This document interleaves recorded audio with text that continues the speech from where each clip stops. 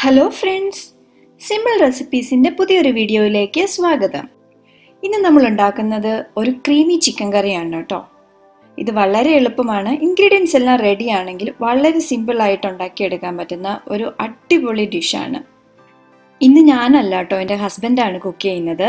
ഞങ്ങൾ കുക്ക് ചെയ്യാൻ മടിയൊക്കെയുള്ള ദിവസങ്ങളിൽ പെട്ടെന്ന് തയ്യാറാക്കി എടുക്കുന്ന ഒരു ചിക്കൻ കറിയാണ്.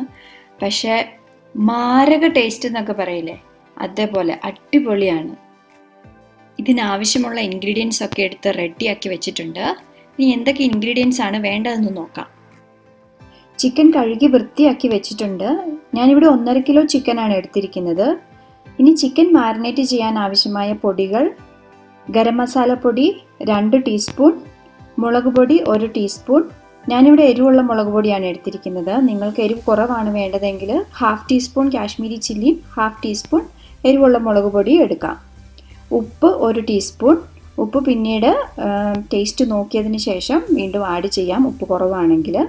ഇപ്പോൾ എടുത്തിരിക്കുന്നത് ഉപ്പ് ഒരു ടീസ്പൂണാണ് പെപ്പർ പൗഡർ ഹാഫ് ടീസ്പൂൺ മഞ്ഞൾപ്പൊടി കാൽ ടീസ്പൂൺ പെരിഞ്ജീരകം പൊടിച്ചത് കാൽ ടീസ്പൂൺ ജീരകം പൊടിച്ചത് അര ടീസ്പൂൺ ചിക്കൻ മാരിനേറ്റ് ചെയ്യാനായിട്ടുള്ള ബാക്കിയുള്ള ഇൻഗ്രീഡിയൻസും കൂടെ പറയാം.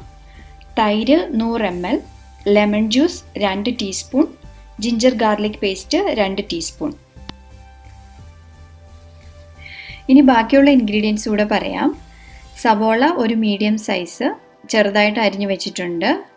രണ്ട് മീഡിയം സൈസ് തക്കാളി അതും ചെറുതായിട്ട് അരിഞ്ഞു വെച്ചിട്ടുണ്ട്. ബട്ടർ ഞാനിവിടെ നൂറ് ഗ്രാമാണ് എടുത്തിരിക്കുന്നത്. ഞാനിവിടെ രണ്ട് ടീസ്പൂൺ എണ്ണയും കൂടി എടുത്തിട്ടുണ്ട്. അത് ബട്ടറിന്റെ കൂടെ ചേർക്കാൻ വേണ്ടിയാണ്. അതുപോലെ തന്നെ ഒരു പിടി മല്ലിയിലയും കൂടി എടുത്തിട്ടുണ്ട്. ഗാർണിഷ് ചെയ്യാൻ വേണ്ടി.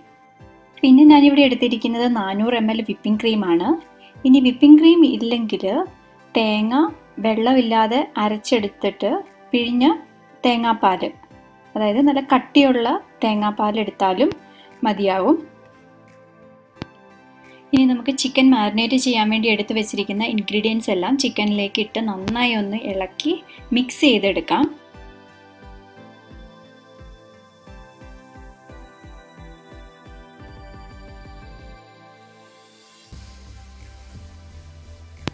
ഇനി നമുക്ക് പാൻ ചൂടായി വരുമ്പോൾ പാനിലേക്ക് രണ്ട് ടീസ്പൂൺ എണ്ണയും നമ്മൾ എടുത്തു വെച്ചിരിക്കുന്ന ബട്ടറും ചേർക്കാം. ബട്ടർ നന്നായി ഒന്ന് മെൽറ്റായി വന്നതിന് ശേഷം അതിലേക്ക് നമ്മൾ അരിഞ്ഞു വെച്ചിരിക്കുന്ന സവോള ചേർക്കുക. സവോള ഒന്ന് ഇളക്കി കൊടുത്തതിന് ശേഷം അതൊന്ന് മൂടി വെച്ച് ഒരു മൂന്ന് മിനിറ്റ് നേരം വേവിച്ചെടുക്കണം. ഇടയ്ക്കൊന്ന് ഇളക്കി കൊടുക്കാൻ മറക്കല്ലേ? ഞാനിവിടെ വെള്ള കളർ സവോളയായിട്ടോ എടുത്തിരിക്കുന്നത്. അതുകൊണ്ടാണ് ഇങ്ങനെ ഒരു കളറിലിരിക്കുന്നത്. ഇപ്പം സവോള നല്ല പാകത്തിന് മൊരിഞ്ഞു വന്നിട്ടുണ്ട്. ഇനി നമുക്ക് തക്കാളി കൂടെ ആഡ് ചെയ്ത് കൊടുക്കാം. തക്കാളി ആഡ് ചെയ്തതിന് ശേഷം ഇതേപോലെ തന്നെ ഒരു മൂന്ന് മിനിറ്റ് നേരം മൂടി വെച്ച് വേവിക്കണം.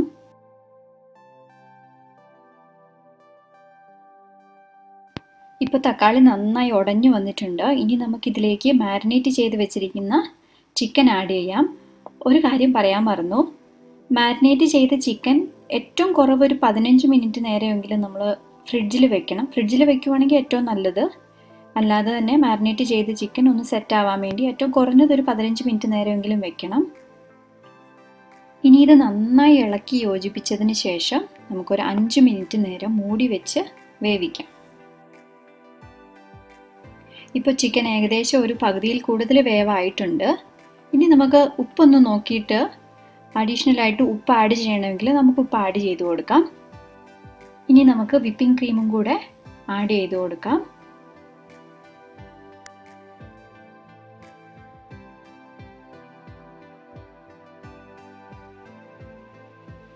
നന്നായി ഒന്ന് ഇളക്കി യോജിപ്പിച്ചതിന് ശേഷം നമ്മൾ എടുത്തു വെച്ചിരിക്കുന്ന പകുതി മല്ലിയില നമുക്കിപ്പോൾ ആഡ് ചെയ്ത് കൊടുക്കാം. അതിനുശേഷം വീണ്ടും ഒരു മൂന്ന് മിനിറ്റും കൂടെ നമുക്കിത് മൂടി വെച്ച് വേവിക്കാം.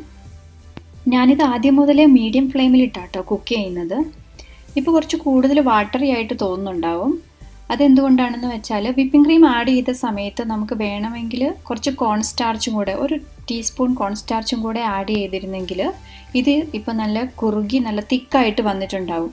ഇവിടെ ഞാൻ കോൺ സ്റ്റാർച്ച് അവോയ്ഡ് ചെയ്തു. അതുകൊണ്ടാണ് ഇപ്പോൾ ഇച്ചിരി വാട്ടറി ആയിട്ട് തോന്നിക്കുന്നത്. ഇനി ഇത് നമുക്ക് ഒരു ഇരുപത് മുതൽ ഇരുപത്തഞ്ച് മിനിറ്റ് വരെ ഒന്ന് തുറന്ന് വെച്ച് കുക്ക് ചെയ്യാം. ഇപ്പോൾ ചിക്കൻ നന്നായിട്ട് കുറുകി വന്നിട്ടുണ്ട്. ഇനി നമുക്കിതൊരു സെർവിങ് ബൗളിലേക്ക് മാറ്റാം. സെർവിങ് ബൗളിലേക്ക് മാറ്റിയതിന് ശേഷം നമുക്ക് ബാക്കിയുള്ള മല്ലിയില അതിന്റെ മുകളിലൊന്ന് വിതറി കൊടുക്കാം അപ്പോൾ നമ്മുടെ ക്രീമി ചിക്കൻ കറി ഇവിടെ റെഡി ആയിട്ടുണ്ട്. എല്ലാവരും ട്രൈ ചെയ്ത് നോക്കുമെന്ന് വിശ്വസിക്കുന്നു. ട്രൈ ചെയ്ത് നോക്കിയിട്ട് നിങ്ങളുടെ അഭിപ്രായങ്ങൾ അറിയിക്കണം. അതേപോലെ തന്നെ ഈ വീഡിയോ ഇഷ്ടമായെങ്കിൽ എന്റെ ചാനൽ സബ്സ്ക്രൈബ് ചെയ്യാനും ലൈക്ക് ചെയ്യാനും ഷെയർ ചെയ്യാനും മറക്കല്ലേ? താങ്ക്